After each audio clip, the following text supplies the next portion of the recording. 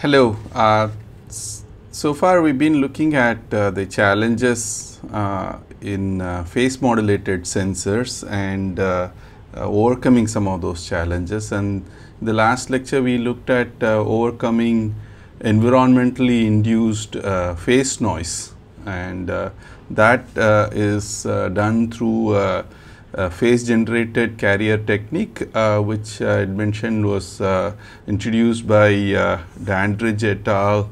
in their uh, IEEE JQ paper in 1982. Uh, so, we were just reviewing this uh, technique yesterday and we were saying that one example of where this technique could be useful is the design of a hydrophone. So, we were looking at the case where uh, Uh, you need to pick up uh, acoustic signals, uh, let's say in the order of uh, 100 hertz. And uh, so these are essentially pressure variations. So if you were to pick it up using an optical sensor, we said essentially a phase modulated sensor may be quite appropriate for this application, wherein um, the pressure waves uh, cause change in the uh, refractive index of uh, an optical fiber through what is called the strain optic uh, coefficient. And whenever the refractive index changes we know that the uh, phase of the light going through this uh, optical fiber is going to change. And so we are essentially converting pressure changes to uh, phase changes in this hydrophone application and uh, of course, uh, we know that our uh, receiver, optical receiver is not able to perceive um, phase changes. So, we need to convert these phase changes to uh, intensity changes and that we do using an interferometer and uh, one example of that is uh, what we are shown here is a Mach Zehnder interferometer and um, wherein one of the arms is the measurement arm uh, which is exposed to these uh, acoustic signals and the other arm is a reference arm. And uh, one thing that we said was uh, if we want to pick this uh, acoustic signal from uh, this noisy background, we could potentially introduce a phase, deliberately introduce a phase variation so, sinusoidal uh, phase variation uh, in the reference it can be accomplished using a, a, piezoelectric transducer. And then we went on to look at the math of this and uh, uh, we recognize that what we are essentially doing is any phase variation that we have over here this part is is actually uh, because of this uh, uh, phase carrier that we are introducing, we are converting this phase information into amplitude information right? Uh, through these uh, you know when we do a cos of cos we uh, represent that in terms of Bessel functions and which are tagged the Bessel components are tagged to specific frequency. So we get an output uh, spectrum uh, like this uh, wherein the relative amplitudes of the even and odd uh, frequency components where Fc corresponds to the carrier frequency that we have uh, uh, chosen typically in the order of 10 kilohertz or so. but, but the magnitude of the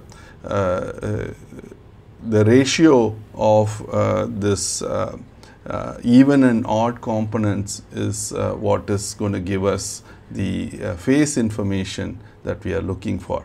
Um, so, thought we could go into this in a little more detail today and, and see specifically how this phase is extracted. Okay, so that's what we're going to do. So let's let's continue from where we left off yesterday. So let's actually look at um, you know it's it's easy enough to say that the the phase information that you need is is actually sitting over here uh, in the sine and cos which corresponds to these uh, uh, frequency terms. But uh, how do you read those uh, values and how do you specifically extract phi of t? Okay that's what we want to look at. So um, so let's let's go back and look uh, just uh, uh, quickly uh, draw this uh, picture and and so we can see where exactly we are at. So this is our laser the source laser.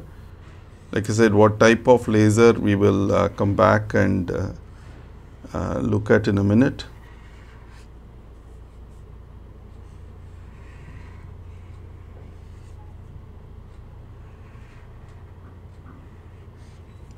and then uh, we are going into our uh, optical uh, receiver right. So, this is our uh, 3 dB coupler or 50 50 coupler this also 50 50 coupler and then uh, we are basically saying this uh, hydrophone is wound around a mandrel. So, you have a mandrel around which you basically wind your fiber coil and similarly, on the uh, reference side, you have uh, a PZT element, okay, which can uh, allow us and, and you have the fiber wound around it. Okay. So, uh, so the PZT can stretch or contract and uh, accordingly uh, impart strain changes on the fiber which once again changes the uh, uh, refractive index in the face in the other arm. So, why do we want to do that?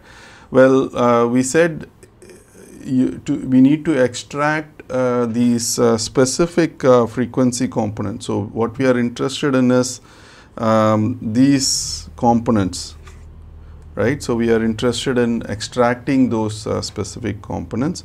So, the way we can do this is um, we can basically take the receiver output and uh, beat it like we did previously for lock-in detection.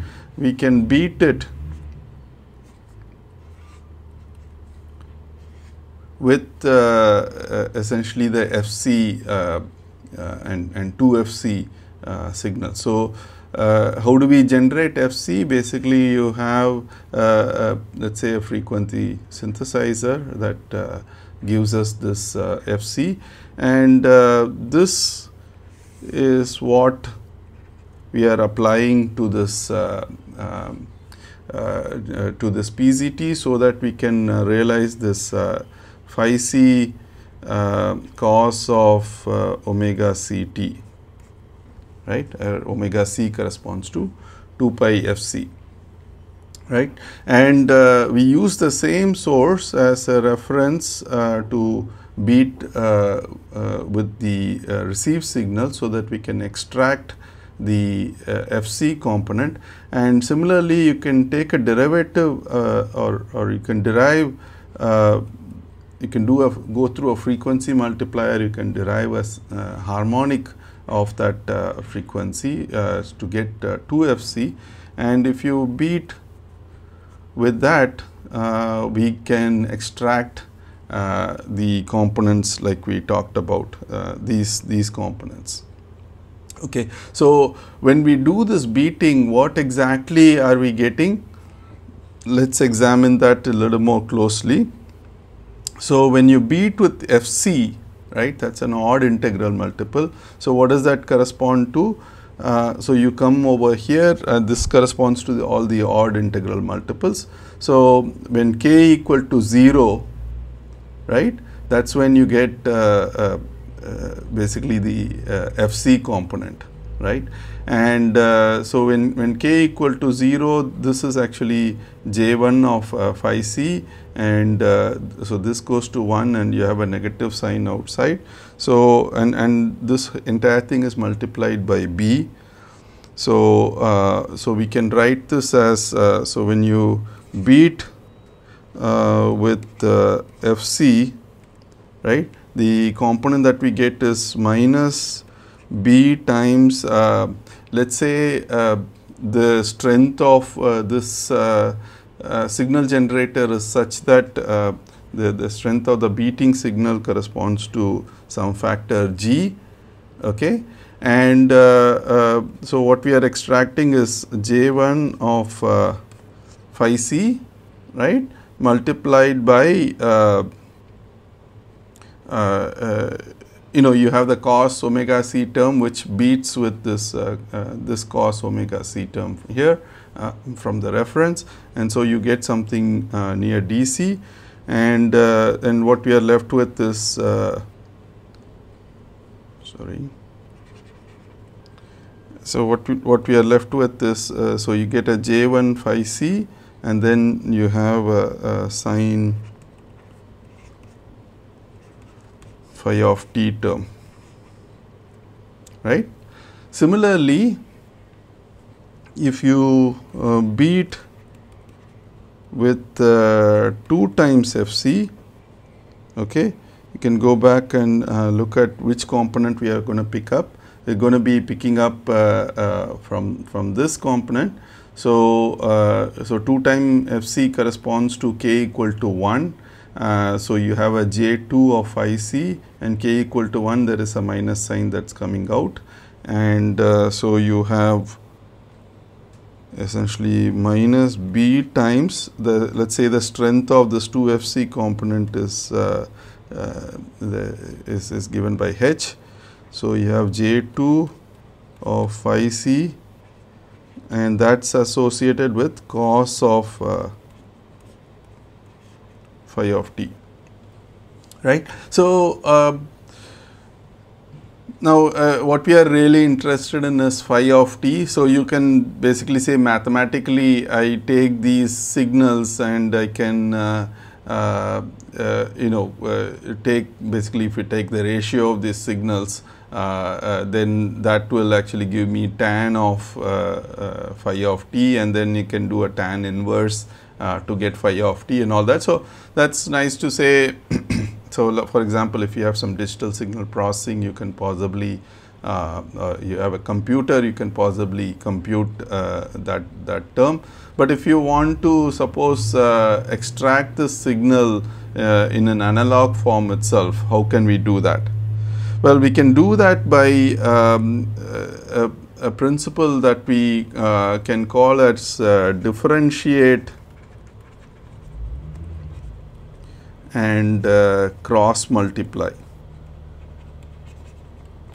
So, what does this uh, differentiate and uh, cross multiply uh, uh, uh, scheme is all about? Well, um, you what we have coming in is let's let's number these things. Um, so, let's call this number 1 and let's call this number 2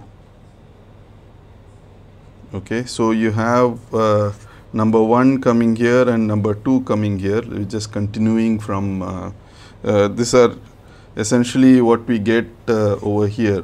1 and uh, uh, 2 right so so let's let's continue that here so if you take that and uh, you uh, put it through a differentiator differentiate with respect to uh, time and then you go into a cross multiply uh, term. So, what does this cross multiply do? We'll just see that in a minute. Okay. Um, so, you essentially take this signal and you are uh, uh, cross multiplying with this and um, and similarly, uh, we can take uh, this signal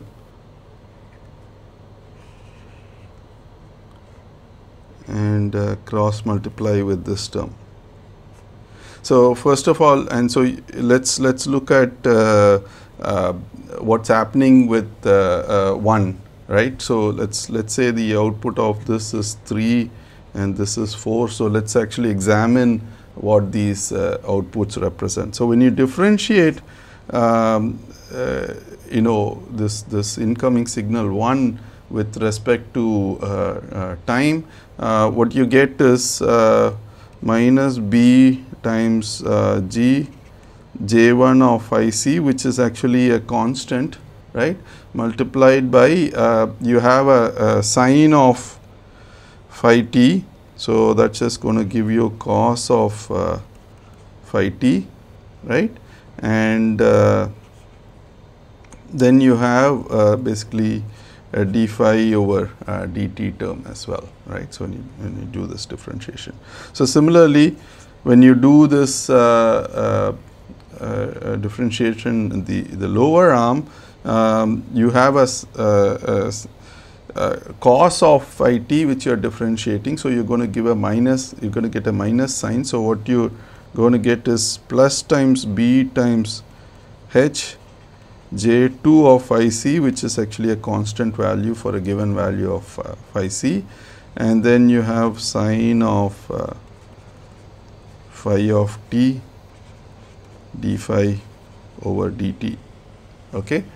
So, now uh, what you do is you are you are just going to cross multiply uh, this with uh, uh, 2 right because uh, you're, you're taking uh, this and you're cross multiplying with 2. So, when you do the cross multiply um, you get rather just uh, just uh, uh, uh, give you the output. So, um, if you take 3 and you cross multiply with 2 what you get is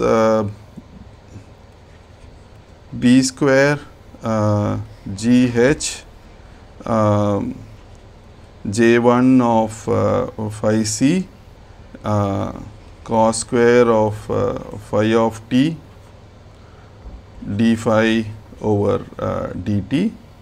And similarly if you take 4 and you cross multiply with 1 you get minus b square gh sorry uh, there should be j1 of phi c and then there should also be a j2 of uh, phi c. So, you get the same term here j1 of phi c, j2 of uh, phi c and here it is going to be sine square phi of t and uh, you get a d phi by dt. Okay. So, uh, so let's let's call this uh, uh this as 5 and uh, this as 6. So, if you do uh, 5 minus 6 what do you get? Um, you you essentially have the uh, the negative term becoming positive. So, you have a cos square plus sine square term and rest of them are all common. So, you get a b square g h j 1 of phi c j 2 of uh, phi c multiplied by cos square plus sine square which essentially uh, goes to 1. So, you just have uh, d phi by dt. So, what we are essentially doing is taking this output here and putting it through a subtractor and at the output of this you get uh, this. So, what do we need to do now to get your to extract your phi of t? Well, you just have to put it through an integrator, right. So, so, this is this is actually a subtractor circuit and this is an integrator circuit and so what you get out of this let me just put arrows for all this so it's clear which way the signals are going right? So what you what you get out of this is essentially phi of t right? So you you go through that uh, final step. So uh, from this integrate to extract phi of t right. So, um, that is essentially uh, the, the way you can uh, uh, go ahead and uh, try to um, you know extract extract this phi of t. So, uh, let us do a quick recap on uh, what we have been talking about. Uh, so, we have been looking at how to extract this phase changes phi of t and Uh, and, and of course, we uh, realize that we're going to have to do this uh, differentiate and cross multiply scheme uh, to extract uh, uh, phi of t. Um, let us just talk about how to optimize this phi of t. Okay. So, to optimize this we need to take care of all these factors j1, j2, uh, B, G and H and all of that. So, let us just look into uh, all of this one by one. Let us first look at the uh, Bessel components. So, what do these Bessel components mean? Well, you can draw uh, this uh, Bessel function uh, j of phi c as a function of phi c. Um, so, if you draw the different Bessel functions, so let us say you start with j naught, j naught is actually going to be uh, an oscillatory component with the exponential uh, decay of the envelope. And uh, then you look at J1, J1 is going to start from 0 and then uh, uh, so, so J0 actually starts uh, from a value of 1 whereas J1 starts from a value of 0 and then once again it, it's oscillatory but it doesn't swing as much as J0 does. And then J2 is uh, another oscillatory function, but uh, that does not go up as much as uh, J1. So, it is uh, relatively smaller in amplitude, but it is uh, that is also decaying and, and oscillating. Now, uh, the, the question is what is the optimum value of uh, phi c that you can choose. Remember phi c is something that is up to you because you actually send a voltage uh, from your uh, signal generator to drive your PZT and the voltage should be such value like a, you can call this VC. Uh, so, such a value that it incorporates a certain uh, phi c uh, through this uh, PZT. So, then the question is what should be that phi c?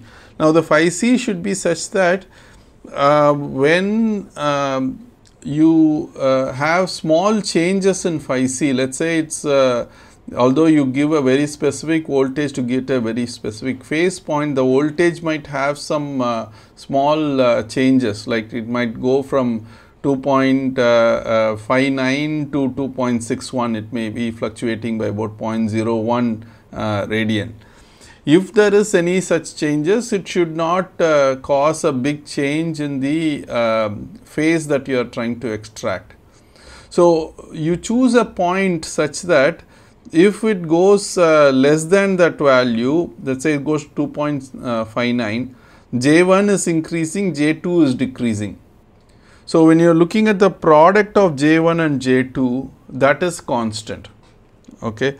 And similarly, if uh, this phi c value goes up to uh, 0.01 higher, it goes to 2.61.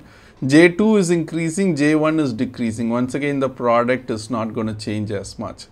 So, you look for these uh, crossover points between uh, J1, J2. So, there is one crossover point here, another crossover point here, another crossover point here and so on. So, so you can conveniently choose this crossover point so that uh, uh, that will be your optimum bias point so that any small changes in small fluctuations in phi c should not uh, change the uh, overall uh, uh, phi value that you are trying to pick up. And, and then it comes to you know optimizing the value of G and H okay. How do you optimize the value of G and H? Now, when you think about the final power value that you are reading, this phi of t you are reading, uh, phi of t should you are typically designed for a certain range. There is a maximum phi value uh, for which you design this sensor. Okay. Let us say that maximum phi value is 1 radian Okay. So, it should be such that this uh, final phi of t that you are getting is actually a voltage value. Okay. So, that voltage should uh, fill your ADC. So, if your ADC is say um, ADC is 1 volt, then uh, that 1 volt should uh, correspond to 1 radian if 1 radian is the maximum phase that you are trying to pick up. Okay. So, so you need to fill your ADC. So to fill your ADC, you can use, uh, you can actually uh, change the value of G and H. What does G and H represent? G represents the strength of the signal that's coming here. H represents the strength of the signal that's that's coming here right. So, uh, you can actually change those voltages so that you can increase the uh, signal that you are uh, final signal that you are getting such that it uh, fills the uh, ADC right. So, that is how you uh, go about choosing G and H. And finally, um, you want to choose B carefully so, let us actually uh, see what B represents. To see that you need to go back and uh, look at your uh, uh the original where we all where it all started. We said we are looking at this beat function. The strength of that beat is what we are calling as B, right. So, that is what we used in these uh, expressions. Uh, we this B is representing this value. And when you look at this closely, it consists of the degree of coherence, which you of course uh, try to increase as much as uh, possible. You try to choose uh, a laser which is uh, relatively narrow line width. So, you can uh, um, uh, get a fairly high degree of coherence close to 1 if possible. And then you have the relative values of I1 and I2. So, how do you choose I1 and I2? Well, uh, to start with you in an interferometer to get maximum contrast you try to get I1 to be matching I2. Okay. So, you can adjust the uh, intensities in the two arms by adjusting the losses in the two arms. So, you can balance I1 and I2. Okay. So, that is uh, one thing we do and uh, overall it is controlled by the intensity from the uh, laser. So, you can uh, um, you can you can actually this this uh, if you call it I naught you can adjust I naught so that you can adjust uh, I 1 and I 2 as well. Um, but what should those values be? Well, we understand that in a uh, receiver you have uh, what is called shot noise. Okay. So, what is shot noise uh, due to? It is because of the random arrival time of photons at the at the receiver and uh, that actually scales with uh, the shot noise variance scales with the uh, input power or the input intensity of light that's that's uh, that's incident on the detector okay so you need to reduce uh, the intensity i1 and i2 such that you can reduce the shot noise component but if you reduce this to too small a value, let us say you go down to nanowatts of power, okay. In that case, you need to actually boost up your signal by having a large gain for your receiver and in, in that case you have a, thermal noise component that comes, that comes into the picture. So, you need to essentially adjust I, I1 and I2 so that you can balance this shot noise and thermal noise uh, so that you can achieve uh, as high a signal to noise ratio as possible. Okay. And uh, by adjusting I1 I2 you are adjusting B and uh, through that you are uh, essentially uh, making sure you get a, a relatively clean signal okay. So, you can you can extract uh, this uh, uh, phi of t uh, in, in a reliable manner. Okay. Um, having said that, uh, we do have to be careful about uh, this phi of t as we defined a little earlier, it corresponds to phi s cos omega st. This is the signal that we want to extract, but there is still noise incorporated in that we are reducing the noise as much as possible through uh, this lock-in detection and, and uh, low pass filtering. Uh, that is something that I did not explicitly mention uh, previously. When you do this uh, beating, you also need to incorporate this low pass filter before you extract this 1 and 2. So, by uh, low pass filtering to essentially include the essential components like uh, if you are trying to pick up something at 100 hertz then uh, you do a low pass filter around that so that uh, uh, you're not actually accumulating a lot of noise uh, from higher frequencies. Okay, so so you need to use uh, this low pass filtering judiciously. On the other hand, if you uh, know that your uh, you know acoustic signal that's uh, incident on this, right? If the acoustic signal that's incident on this uh, uh, hydrophone, if you know it is going to be at 100 hertz, let's say, then instead of a low pass filter, you can actually use a band pass filter okay? And uh, and and then just pick up that 100 hertz component. Or uh, even better uh, you can uh, beat it instead of fc you can beat it with fc plus 100 hertz or something like that. And uh, then you can extract the specific component corresponding to an, and 2fc will correspond to 2fc uh, plus this you know 100 hertz or 200 hertz uh, uh, those components and then you can extract the specific frequencies of interest uh, for us okay so so those are some of the modifications you can do to uh, reduce the noise further but uh, that is essentially uh, what this phase generated carrier method is all about.